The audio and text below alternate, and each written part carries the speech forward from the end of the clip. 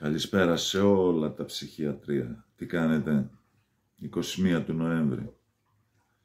Πριν λίγο γύρισα. Άναψα το τζάκι μου. Τα νερά έχουμε πει. Αν ακούτε νερά, είναι το σύστημα που λειτουργεί μαζί με το τζάκι. Μόνο τζάκι και έχω όλα τα καλοριφέρ στο σπίτι αναμένα. Γεμάτη μέρα σήμερα, την ευχαριστήθηκα. Εντάξει, είχε και ένα παγκόσμια ημέρα τηλεόρασης, ας πούμε, και φτιάξαμε, τουλάχιστον κάπως το έσωσα. Δεν φτιάξαμε πλάσμα και τέταρτης και πέμπτης γενιάς και έξυπνες και χαζές τηλεοράσεις. Φτιάξαμε ωραίες δρετρό με τα κουμπιά που είχαν στο πλάι που τις γύριζαν και με κερεούλα επάνω.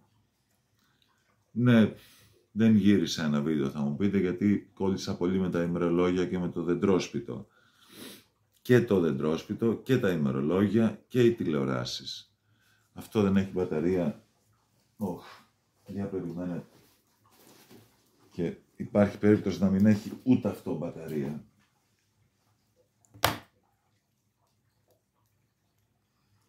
Οπότε γεμάτη ημέρα. Τα παιδιά δεν το συζητώ, ειδικά το, το, απογευματινό, το απογευματινό τμήμα. Τα πιτσιρίκια το απόγευμα, τα ατράκια, τα οποία είναι τώρα έχουμε πει από 15 ας πούμε, μέχρι βαριά βαριά 20. Να ο Μάριος σήμερα έχει γενέθλια, έγραφε 20 η τούρτα του επάνω. Αυτά είναι τσακάλια ρε, αυτά συναναγιόμαστε με τα μάτια. Σήμερα που συναρμολογούσα το δεντρόσπιτο που μου είχαν φτιάξει τα παιδιά τις προηγούμενες ημέρες, μου είχαν βάψει τα κλαδιά του, μου είχαν βάψει το σπίτι, τις σκεπές, τα παράθυρα, τις πόρτες, τον κορμό, είχαν πλύνει τα πινέλα τους, τις παλέτες τους, είχαν μαζέψει τα σκουπίδια τους, δηλαδή, εντάξει, εντάξει. Πώς λοιπόν να μην έχω κολλήσει εγώ με αυτά τα παιδιά πέντε χρόνια τώρα και να μην θέλω καμία παρτίδα, καμία επαφή με τυπικά παιδιά πλέον. Τέλος πάντων. Και κοιτάξτε τώρα να δείτε ότι άσε με μένα, γάμισέ με μένα, βγάλε με στην άκρη. Όλους τους άλλους που είναι στον ηλίανθο. Σκέφτομαι ότι υπάρχουν άνθρωποι που και σε τέτοια παιδιά, με ειδικές ανάγκες, δίνουν τα ρέστα τους οι άνθρωποι αυτοί. Τα αγαπάνε σαν να ήταν δικά τους. Τα προσέχουν. Είναι και αυστηροί. Φυσικά είμαστε και αυστηροί σε αυτά τα παιδιά. Γιατί χρειάζεται και αυτό. Και παρατήρηση θα τους κάνεις. Δεν τρέχει κάτι. Και λέω, υπάρχει αυτή η μεριά των ανθρώπων και υπάρχει και η άλλη μεριά των ανθρώπων που το σούσουρο που γίνεται όλες αυτές τις μέρες που εντέχνως το αποφεύγω γιατί είναι κάτι που με στεναχωρεί. Το είχαμε πιάσει λίγο στις αρχές του καναλιού μας πέρυσι με την άλλη την κότα στην Πάτρα που είχε φάει τα παιδιά της και το κλείνω εδώ περί Πάτρας. Και απλά θέλω να αναφέρω ότι 20 χιλιόμετρα από εδώ, 20 χιλιόμετρα από εδώ, στην Αθήνα όλοι σας ξέρετε ότι 20 χιλιόμετρα δεν είναι τίποτα. Τα κάνεις έτσι, για την ξεφτύλα σου σε μια μέρα. Οι άλλοι δεν ξέρω αν είναι ύποπτοι, δεν ξέρω ποιος το έκανε, δεν ξέρω γιατί το έκανε. Να, για όλα αυτά ξέρω ότι είναι μείον τέσσερα, μείον πέντε παιδιά το ταμείο. Και μικρά παιδιά, ε, παιδιά μικρά από κάτι μηνών μέχρι κάτι λίγων ετών. Τι, πώς να σχολιάσω λοιπόν εγώ αυτή την επικαιρότητα, να πούμε τι, να σας πω τι εγώ, να ακούσετε τι εσείς τώρα από έναν βλάκα απέναντι ή να γράψετε τι. Κρατάω μόνο ότι υπάρχει και η άλλη πλευρά αυτή που λέγαμε και Ευτυχώς θέλω να πιστεύω ότι τέτοιοι άνθρωποι είναι πολλοί. Το εύχομαι. Και για να υιοθετήσεις μάγκα μου ένα παιδί, γιατί περίπου δύο χρόνια τελικά πριν φύγω οριστικά από την Αθήνα, μπήκαμε στη διαδικασία να υιοθετήσουμε ένα παιδί, γιατί είναι καλή φάση να υιοθετήσεις ένα παιδί. Και όποιος το σκέφτεται, αν έχει υπομονή, που θα τη χάσει μάλλον στην πορεία, ας το κάνει.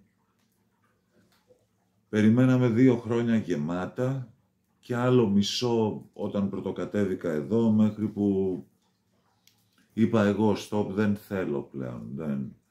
Ήρθε η Επιτροπή, εξέτασε το πού θα μείνει το παιδί, εξέτασε πώς θα μεγαλώσει, τι, πού, οικονομικούς πόρους, το ένα, το άλλο. Εγκρίθηκαν όλα, ωραία, και μπήκαμε σε μία σειρά. Και αυτό τελείωσε εκεί. Τελείωσε εκεί.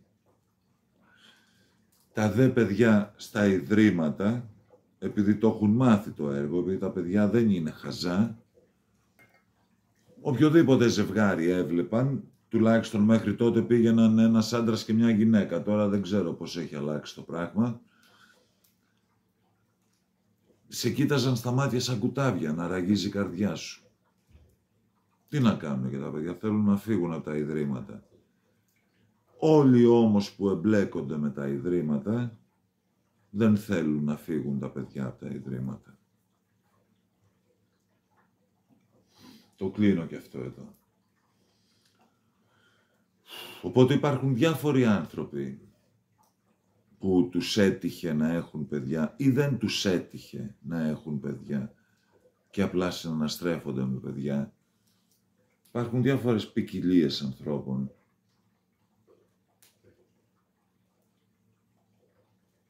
τι γίνονται όλα. Από το καλύτερο μέχρι το χειρότερο. Δεν θέλω να μπω σε αυτό το τρυπάκι πια, σε αυτό το δηλητήριο. Θέλω να είμαι μόνο στην καλή πλευρά. Προτιμώ να σας δείχνω δεντρόσπιτα και ημερολόγια και παιδιά να ζωγραφίζουν, παρά παιδιά να πεθαίνουν. Ξέρω εγώ, Να πω μόνο ότι ένα 24χρονο πόσο είναι αυτή η τσούπα από την Αμαλιάδα, η Ειρήνη, πώς τη λένε,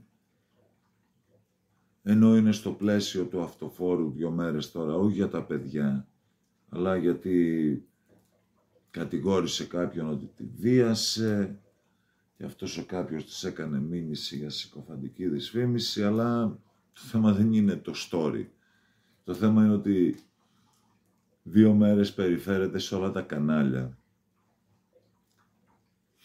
Δύο ώρες στον Ευαγγελάτο, στον Κουσουλό, στη Ζήνα, στη Τζίνα, στη Μίνα, στη Ρίνα. Και η αστυνομία ψάχνει να τη βρει, κατά τα άλλα. Εντάξει. Είναι η ίδια η αστυνομία που πέθανε το κορίτσι έξω από το αστυνομικό τμήμα είναι η ίδια αστυνομία που κάποτε σκότωσαν σε μπουνιές και κλωτσιές στο κέντρο της Αθήνας τον Ζακ και δεν έτρεχε τίποτα. Είναι η ίδια αστυνομία που σακάτεψαν τον άνθρωπο αλλά γλίστριστε στη Ζαρτινιέρα. Είναι η ίδια αστυνομία που κατά δήλωση οι τοξικομανείς στο κέντρο, ακούστε ένα ωραίο τώρα, δεν έχω πλάνα, ενώ γύρισα πλάνα, αποφάσισα να μην τα ανεβάσω. Αλλά βρέθηκα στο κέντρο της Αθήνας, φόρεσα έτσι όλα μου τα παλιόρουχα, κάτι παπούτσια παλιά, κάτι μπλούζες, ντύθηκα πρεζάκιας, με λίγα λόγια, μεταφιέστηκα. Και έκοψα βόλτες στα στενά. Και που δεν πήγα. Το έκοψα από εξάρχεια, κατέβηκα κάτω, το πήρα πατησίων, κατέβηκα στην πλατεία κάτω, ε, ωραία κόλλησα τώρα. Θα μου έρθει. Πέρασα από κάτι μπουρδελοξενοδοχεία, ένα είχε βάλει κάτι μπλε, τεράστιο, όλο το τετράγωνο οικοδομικά μπλε, Ανέβηκα πάνω ομόνια, πήγα από τα στενά κάτω τα κακόφημα του Μπακάκου, πέρασα τι ωραίο αυτό, Χαρμάνης λέγεται το άλλος φαρμακείο, στην ομόνια ο Χαρμάνης. Μπήκα εκεί μέσα, άλλα μπουρδελο ξενοδοχεία, με πόρνες έξω, με τραβεστή έξω. Κατέβηκα κάτω μετά στην, ε, κοντά στου ΣΥΡΙΖΑ, εκεί στην Κουμουνδούρου. Κανένας δεν με ενόχλησε στο δρόμο. Κανένας δεν μου ζήτησε μην έχω να του δώσω τσιγάρο, ένα ευρώ. Κανείς γιατί έτσι σκεφτά πήγαινα ωραία και όλοι νόμιζαν ότι ήμουν ο δικός τους. Undercover. Την είδα.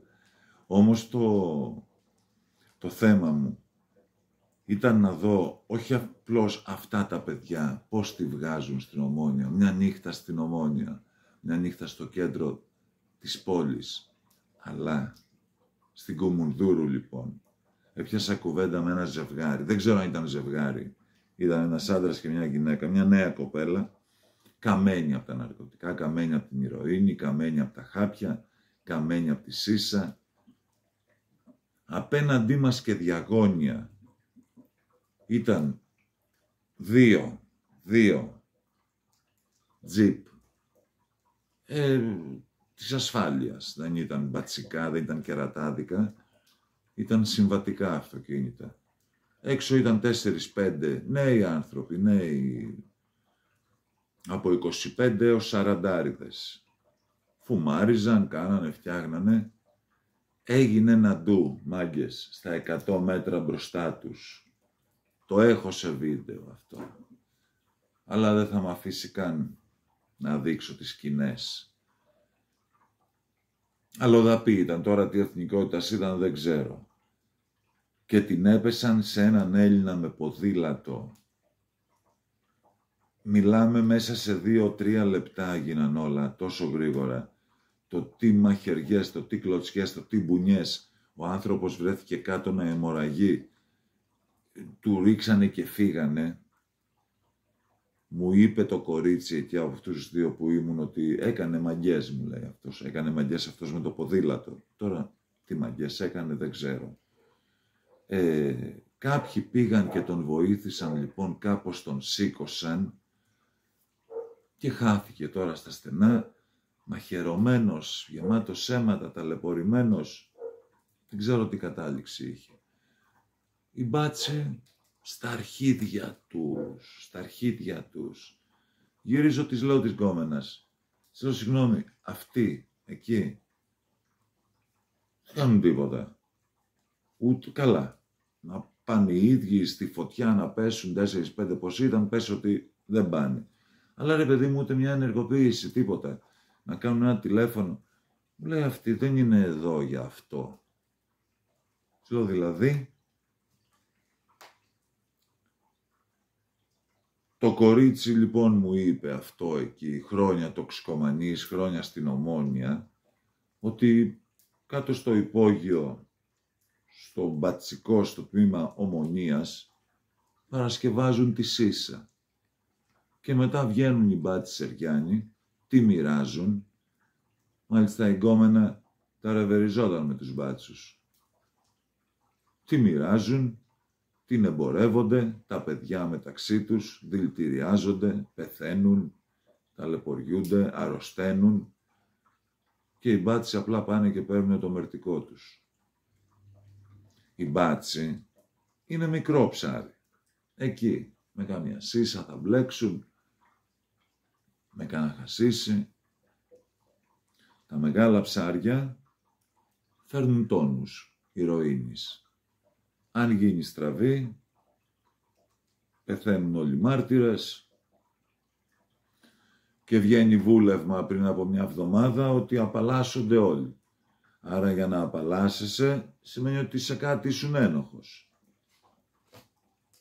Μάλλον, ξέρω εγώ, λέω. Δεν το είπε κανείς αυτό όμως. Τα ναρκωτικά είναι μεγάλη υπόθεση. Είναι μεγάλα, πολλά λεφτά, είναι μεγάλα τα κέρδη, ακόμα μεγαλύτερα τα συμφέροντα και δύσκολα θα βγει άκρη. Αν θέλουν σε μία νύχτα, όταν ήθελαν παραδείγμα, φέρνω τώρα παράδειγμα, στους Ολυμπιακούς Αγώνες να καθαρίσει η Αθήνα, για θυμηθείτε το 2004, ακόμα και το κέντρο της πόλης. Ακόμα και οι πουτάνες, ακόμα και οι πόρνες ήταν πολυτελείας. Όχι τοξικομανείς δεν έβλεπες έξω. Όχι άστεγους, όχι ταλαιπωρημένους, όχι εγκλήματα, μαχαίρια, πιστόλια, εκείνο, τ' άλλο. Στις εισόδους του μετρό και του ηλεκτρικού στο κέντρο της Ομόνιας, στο κέντρο της πρωτεύουσας μιας ευρωπαϊκής χώρας, φόρα παρτίδα ανεβαίνοντας τις κυλιόμενες σκάλες, είναι πάνω-πάνω τα ντυλεράκια, τα οποία γυρνάνε με μικρά συσκευασμένα τέτοια, που έχει μέσα μαυράκι. Δεν το λέω για κακό, μωρέ. Το μαύρο. Δεν είμαι του δόγματος ότι όποιος ξεκινάει με μαυράκι καταλήγει στα σκληρά. Αφήστε τα αυτά. Αλλά θέλω να σου πω το πόσο χύμα στο κύμα. Δηλαδή, μην κοροϊδευόμαστε. Μην, μην κρυβόμαστε πίσω το δάχτυλό μας. Δύο μέρες να κάνεις μια τσάρκα στο κέντρο. Δεν σου λέω άλλο. Στο κέντρο της Αθήνας και ο πιο άσχετος να είσαι, λίγο παρατηρητικός, και όχι πολύ, λίγο παρατηρητικός να είσαι, θα καταλάβεις ακριβώς τι παίζεται. Στην επαρχία μάλιστα, στην επαρχία είναι ακόμα πιο λάσκα, γιατί λιγότεροι, οπότε λιγότερα τα στόματα και επειδή τους τρέμουν τους μπάτσους, οι μπάτσοι παίρνουν τα χαρισλίγα τους και τελειώνει η υπόθεση και το παραμύθι εκεί. Εγώ πάντως, εάν είχα παιδί, θα μου πεις, εάν σιγάρα μεγάλα σκουπίσου, να σκουπιστώ μετά. Αλλά εάν είχα παιδί, δύο πράγματα. Πρώτον, αν κάπου στα 13 του 14 γύριζε και μου έλεγε που πλέον θα είχε αντίληψη σιγά σιγά το παιδί και θα καταλάβαινε τι γίνεται γύρω του. γύριζε και μου έλεγε λοιπόν, ρε που με έφερες, τι είναι αυτό; Θα έψαχνα πραγματικά λαγούμι να κρυφτώ. Πραγματικά. Και πάλι στα 13 του 14, εάν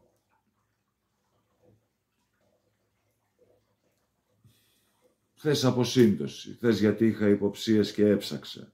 Θα το έκανα, αν είχα υποψίες. Του έβρισκα κάτι πολύ σκληρό επάνω του. Κοκαίνη, ηρωίνη, κάποια σύριγγα. Θα πήγαινα κατευθείαν στο αστυνομικό τμήμα, κατευθείαν στο αστυνομικό τμήμα, στη δίωξη. Θα φρόντιζα να μάθω ποιος είναι ο όροφος,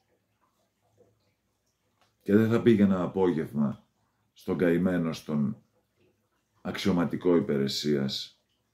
Θα πήγαινα πρωί να βρω τον διοικητή της δίωξης. Και κάπως θα γινόταν και θα κατάφερνα να φτάσω μέχρι το γραφείο του. Αν έβρισκα στο παιδί μου επάνω ηρωίνη, κοκαίνη και σύριγγες και Μιλάω για τον πύργο της Ηλίας που ξέρω την κατάσταση σας την είπα τις προάλλες. Τρία χιλιόμετρα, ποια τρία. Το καλοκαίρι τους πήρε οχτώ μήνες να δέσουν μια ομάδα από γύφτους, άλλη ομάδα αυτή, όχι εκείνη που σας έλεγα, η οποία εμπορευόταν ηρωίνη στα παιδιά της πόλης. Μάγκες, θα πάω να σας το δείξω αυτό, που ήταν το κατεδαφισμένο και που είναι το αστυνομικό τμήμα. Δεν μιλάμε για 200 μέτρα. Δεν μιλάμε για 200 μέτρα. Και επί έξι μήνες μια ολόκληρη πόλη ήξερε ότι εκεί γίνεται ταραβέρι ηρωίνης και η μπάτη στα 200 μέτρα, ξέρω εγώ, στην ταράτσα πάνω μου άπλωναν χαρταετό. Αν λοιπόν τα ήξερα αυτά σε τούτη την πόλη και είχα παιδί και συνέβαινε αυτό, θα έβρισκα τρόπο να φτάσω μέχρι το γραφείο του διοικητή της δίωξης ναρκωτικών και μετά γινόταν ό,τι ήθελε. Το κλείνω και για τα ναρκωτικά, αλλά Φυσικά και δεν τελειώνει εδώ η εκπομπή, αλλά με ξέρετε τώρα εμένα. Σας είχα υποσχεθεί ότι θα πούμε για τα ναρκωτικά. Σήμερα δεν ήθελα καν, δεν το είχα στο μυαλό μου, δεν ξέρω πώς το έφερε, το έφερε. Μιας και μιλήσαμε όμως για ναρκωτικά και για καράβια με τόνους ηρωίνης, ούτε το άλλο μπορώ να το σχολιάσω της επικαιρότητας.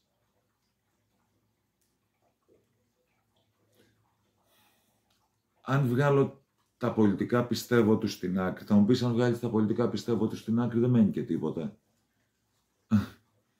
Αν βγάλω τα πολιτικά πιστεύω του Γιάννα Κόμπουλου στην άκρη, γιατί κατά τη γνώμη μου χρυσαυγίτης είναι και αυτά δεν τα γουστάρω και το λέω ορθά κοφτά. Μου αρέσει σαν τύπος. Κουβαλάει τρέλα, ωραία τρέλα. Μου αρέσει σαν τύπος. Και έτσι λίγο να αφιερώσω πολύ λίγο χρόνο.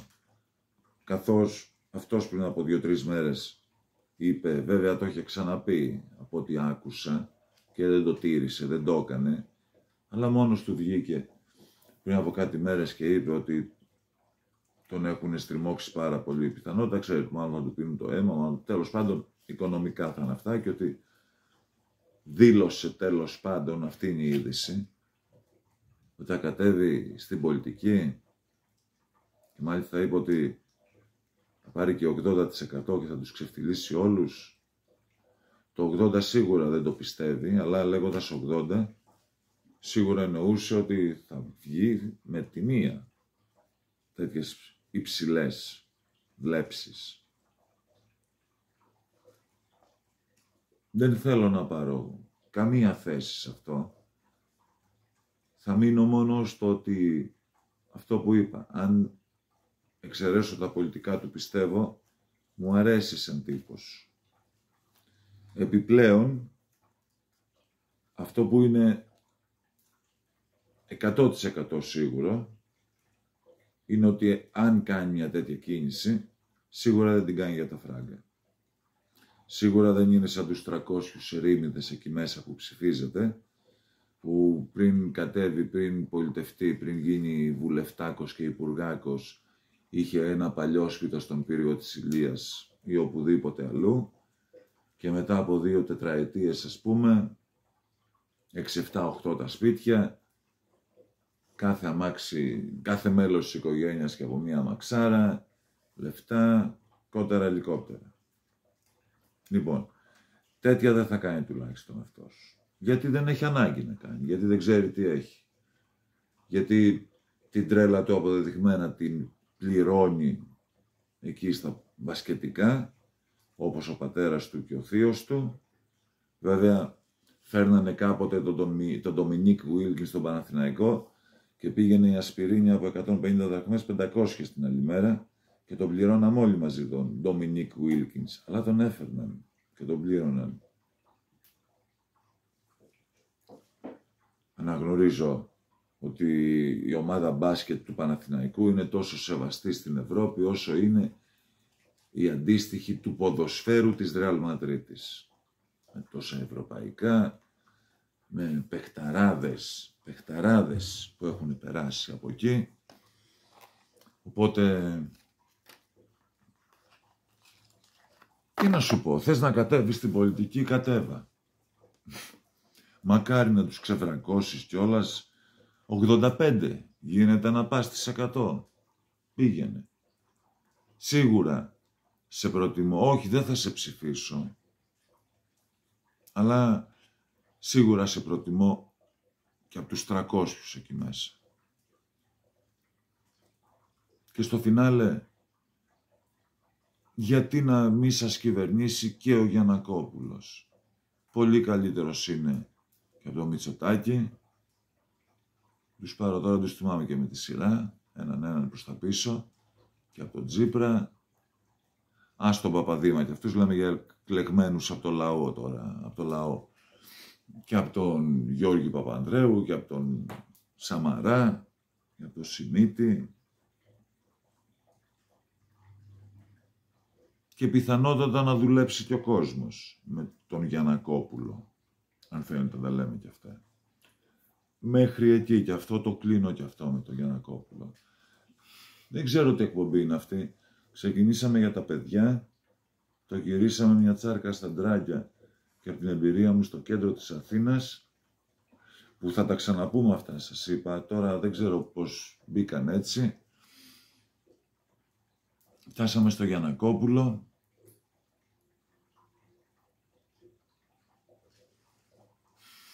και γενικά πόσο πιο χάλια μπορεί να είναι η κατάσταση.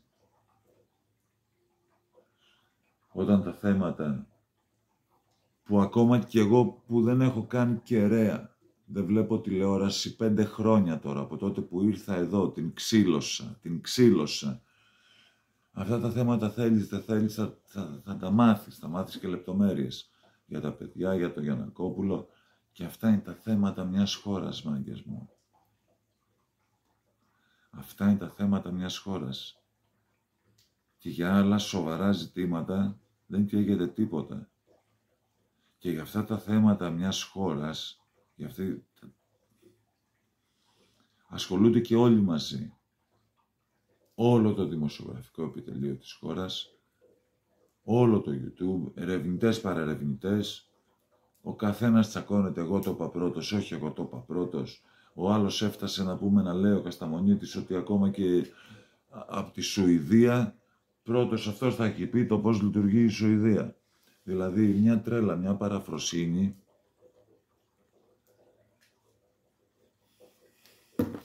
Λίγο απ' όλα.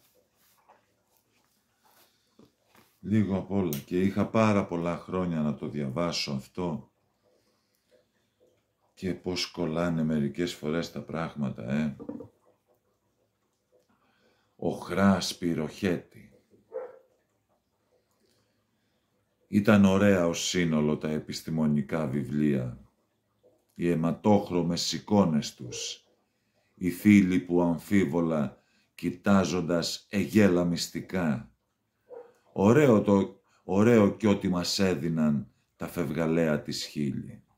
Ωραίο κι ό,τι μας έδιναν τα φευγαλέα της χείλη.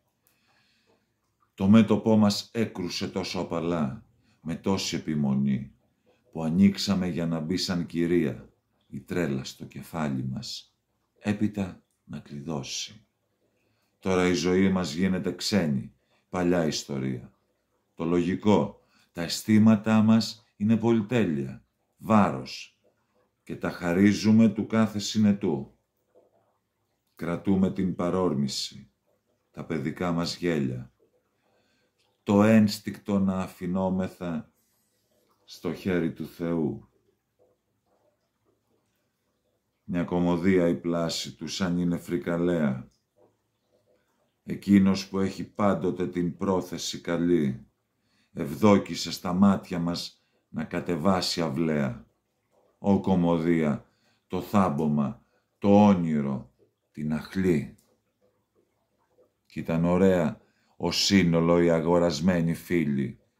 Στο δίλη αυτό του μακρινού, πέρα χειμώνας, όταν, γελώντας ενηγματικά, μας έδινε τα χείλη και έβλεπε το ενδεχόμενο την άβυσο που ερχόταν. Πόσο σήμερα, πόσο σήμερα, ε; Και μπορώ να βρω άραγε πότε το έγραψε. Καριωτάκης, ναι.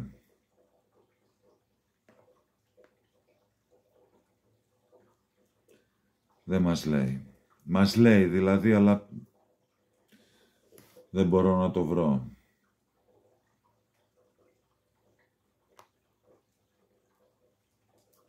Λίγη σημασία του. Θα μπορούσε να το έχει γράψει εχθές.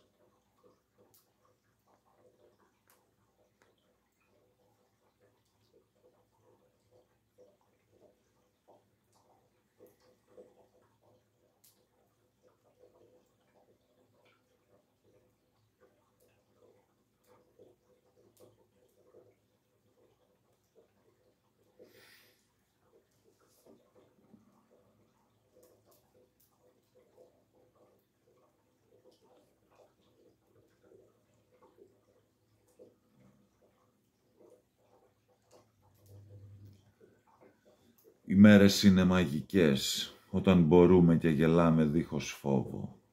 Όταν δεν έχει θάνατο του πρωινού καφέ η κουβεντούλα. Οι μέρες είναι φυλακές όταν η νύχτα πλημμυρίζει βαθμοφόρους.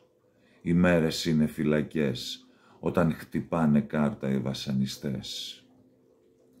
Ο χρόνος είναι μαγικός όταν δεν κρύβονται χαφιέδες στα ρολόγια.